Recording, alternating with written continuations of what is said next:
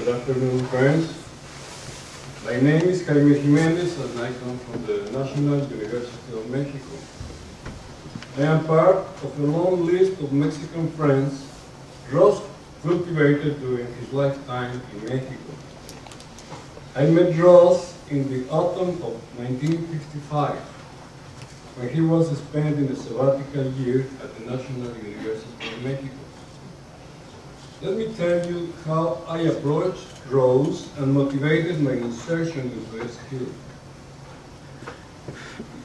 After finishing school in physics, I started my research career at the Space Science Department, and one of my specialties was to simulate the behavior of charged particles arriving from the sun, the solar wind, and being trapped by the magnetic field air. That at the time was a very sophisticated time and resource consuming use of the computer. The computer was just uh, beginning at that time. Knowing the potential of this modern electronic device, I gradually became interested in using its capacity to solve problems down on Earth of a social nature. Actually, there was the belief that with the aid of the computers, we Mexicans could solve ancestral social problems and make a quantum leap to emerge from underdevelopment.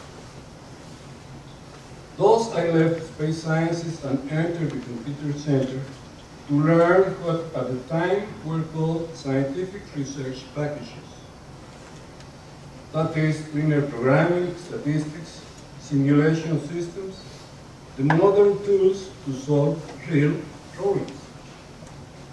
I was happy do, uh, doing some consulting for the public and private, private sectors, apparently solving problems with my revolutionary uh, instrument. However, something did not quite work well. Problems were solved at the time, at the moment, but they did not remain solved.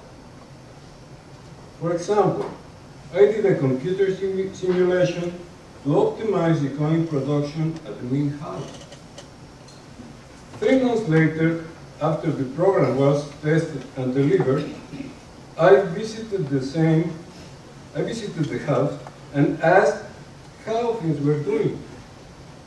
They indicated that things are going about the same as before. Why? I asked, production still has its drawbacks and complaints continue to arrive.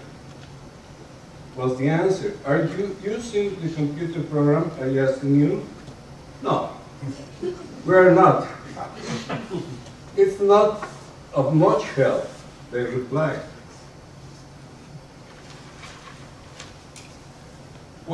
Not a scheduling problem? Was it not solved with a computer simulation that took care of all the control variables? I demanded to know. We thought it was, but it was not. The workers clogged the machines and delayed deliberately the production of coins. So we have no way to schedule the production properly. We did not take into account the workers' behavior. I then realized that something was missing in my scientific approach. The workers were not involved in the solution of the problem. At the time, a colleague of mine, Raul Carvajal, Wilson Ferrer, invited me to attend Ross Ackoff's seminar at the Institute, Institute of Engineering, where Ross was spending a sabbatical year. That was a definite experience that changed my view as a problem solver. First of all, there are no problems, but messes. Messes are systems of problems. If you solve a problem without regarding the whole system, the problem will not remain solved and other problems may arise. The solution to a mess can seldom be obtained by independently solving each of the problems of which it is composed. The system is a set of two or more interrelated elements that have three, pro three properties, and so on and so forth. There were new, for me, and powerful concepts that could help me understand that Mexican messes. And that uh, understand the Mexican messes and do something about it. Attending Ross' seminar made me decide to go and get the knowledge I missed in the social system sciences program to become a more effective problem solver. I still don't solve problems. Back at home, at Penn, I benefited with Ross' wisdom and friendship that lasted until the end. As with many others in the room, the relationship with Ross changed my life. Thank you.